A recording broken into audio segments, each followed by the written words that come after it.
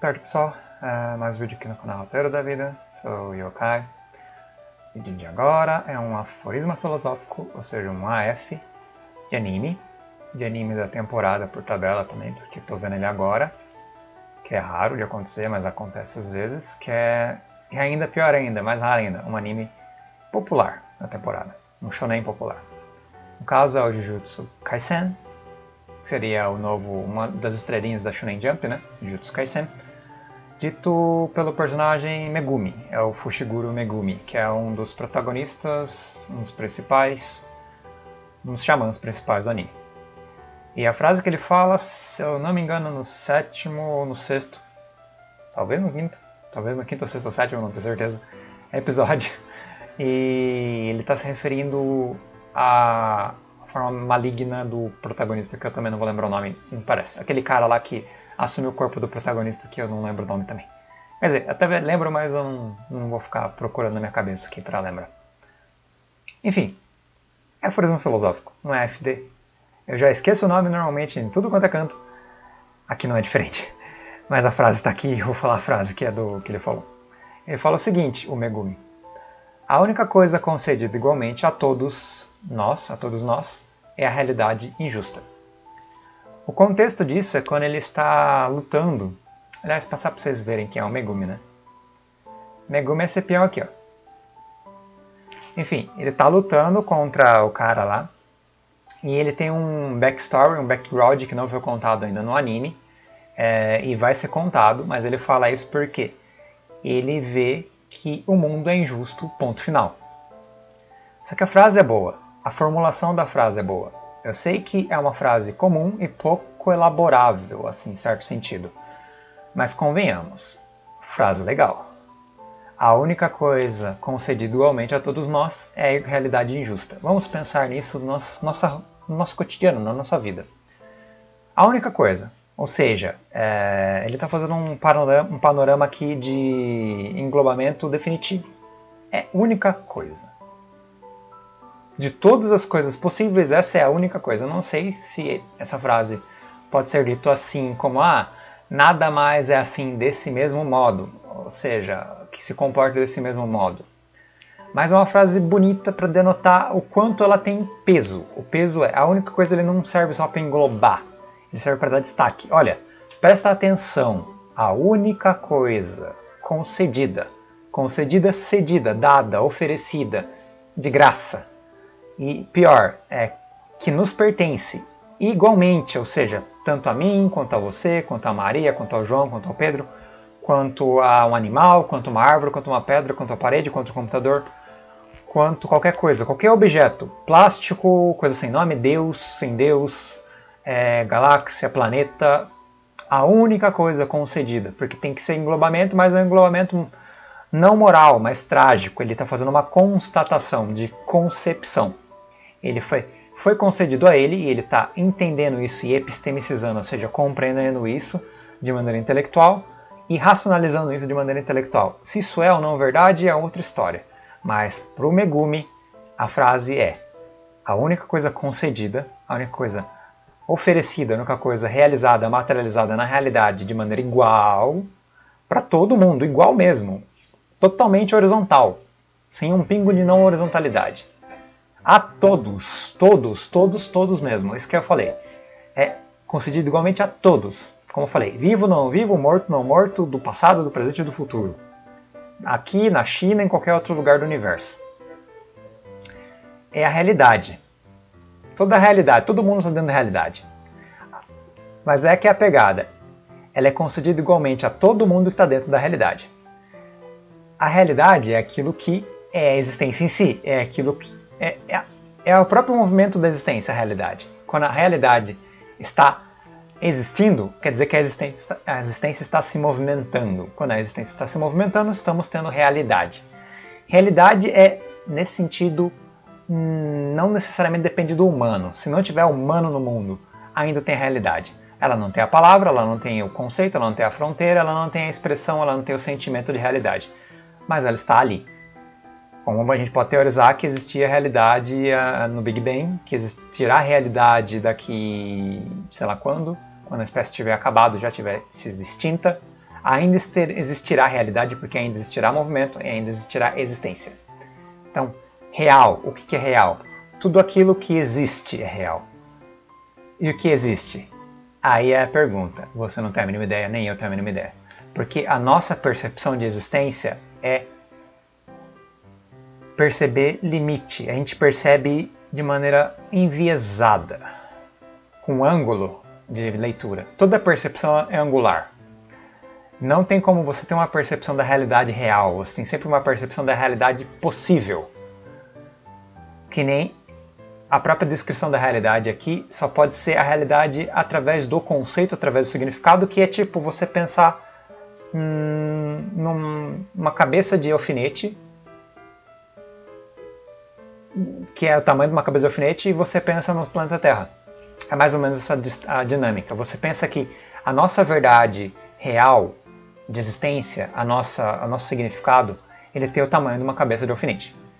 E a realidade plena, que é muito para além do humano, tem no mínimo, para a Terra é muito, é muito pequeno, tem no mínimo a circunferência da nossa galáxia. Galáxia. Você está tá entendendo que, a diferença de um cabeça de alfinete para galáxia? Galáxia. Não galáxia K. Galáxia. Ou seja, Via Láctea. Via Láctea Via Láctea. Nossa, tá, hoje minha dicção tá um lixo. Enfim, cabeça de alfinete, galáxia, Via Láctea. Via Láctea. Vocês entenderam? Andrômeda, mais fácil, Andrômeda é fácil de falar. Cabeça de alfinete, galáxia de Andrômeda. Gigante. Essa é a diferença da realidade para a realidade real. Ou mais plena, ou mais pungente, ou enfim. E o humano está na realidade da cabeça de alfinete vocês terem ideia do que é uma realidade. Você tem ideia do que é uma perspectiva, do que é um ângulo. Ângulo é uma reta entre infinitas retas. Pega uma circunferência e traça uma reta. Quantas retas você pode traçar na circunferência como um todo? O ângulo é a única reta que você consegue enxergar. É a reta onde você está caminhando e andando. E a circunferência, o resto das outras retas, são a existência. Também é uma boa metáfora para você entender o quanto isso aqui é amplo. Ou seja, a única coisa concedida igualmente para a circunferência como um todo, não só para uma reta, para a circunferência como um todo, não só para a cabeça de alfinete, para a galáxia como um todo. Concedida a todos nós, humanos, não humanos, ou o que for, é a realidade injusta. É a realidade, é a existência em movimento injusta. Injusta é uma coisa moral, é um conceito moral. E a pegada, o que é injustiça? o Megumi fala que o mundo é injusto, que a vida é injusta. Para um ser humano, para ele não existe justiça. Não existe justiça. É igualmente injusto. Seja você nascer, seja você morrer, seja você viver, seja você ser pedreiro, seja você ser médico, seja você ser engenheiro, seja você ser físico, seja você ser professor, o que for que você seja, seja você criança, adulto, velho, é injusto. Igualmente, é injusto. Você vai viver, você vai decair e você vai morrer não tem justiça no mundo. A ausência de justiça tem um paradoxo. Se tudo é injusto e não existe justiça, quer dizer que não existe possibilidade de fazer algo certo, algo justo, algo digno. Significa que a moral é dissolvida. Literalmente, se você não tiver, se você tiver uma realidade que seja concedida igualmente e única como injusta, ou seja, ela é plenamente injusta, ela é determinantemente injusta, ela é absolutamente injusta, não existe justiça, e toda injustiça é distribuída igualmente, porque é, a realidade tem que ser injusta. Se a realidade tem que ser injusta, não pode ter justiça. Ponto final. Não dá para ter as duas coisas. Não dá para ter vazio e preenchimento nesse sentido, ou, ou um e dois, ou ímpar e par sendo a mesma coisa. Não dá. Não dá para ter duas coisas sendo a mesma coisa ao mesmo tempo. É um conceito de segmentação e decisão, não dá. Se der, aí complica a elaboração. Aí complica muito a elaboração, na verdade complica completamente e fica muito caótico. Mas digamos que não tenha como existir justiça, porque, como ele falou, a única coisa concedida igualmente a todos nós é a realidade injusta. Quer dizer que a realidade é injusta. Eu, tô, estou extrapolando isso aqui, eu estou levando ao quadrado, ao cubo, a, sei lá, a milésima potência da sei lá que número. Por que eu estou fazendo isso? Para dar o quanto isso é amplo. Se nada é justo no universo, todas suas ações morais são fúteis e vazias. Tudo que você faz, não importa se você está fazendo bem ou que você acredita estar tá fazendo bem, ou se você está fazendo alguma coisa que dê positividades, que dê efeitos positivos, alegria para alguém, felicidade, não interessa. É tudo injusto. É tudo fútil, em certo sentido. Dá para desdobrar para futilidade? Dá para desdobrar para futilidade. Pode ser apenas que simplesmente não tem justiça, que as coisas são como são, de maneira determinada. E o ser como elas são é uma coisa dolorosa. Viver é dor, viver é morrer, viver é nascer e morrer. Viver é se modificar, viver é ser impotente. Tudo isso entra no balaio de gato desse negócio, pra você entender. Só que é uma extrapolação, é claro que é uma extrapolação, mas entra no balaio de gato desse negócio. Por quê? Porque, de acordo com o Megumi, a igualdade de injustiça é, é plena. Ou seja, não importa se o cara é o Hitler, não importa se o cara é o Jesus, ou se o cara sou eu, se o cara é você. Se a pior pessoa do mundo ou a melhor pessoa do mundo. A realidade é injusta para as duas pessoas igualmente. Igualmente, entendeu?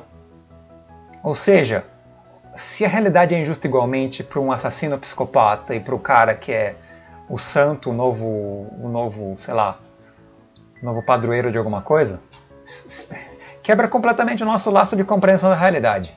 Porque não tem como qualificar a gradação. Como é que você vai fazer gradação de qualidade nisso? É igualmente. Quer dizer que o cara que faz maldade está fazendo maldade por um motivo equivalente ao cara que faz bondade e foda-se tudo. Esse é o problema dessa frase.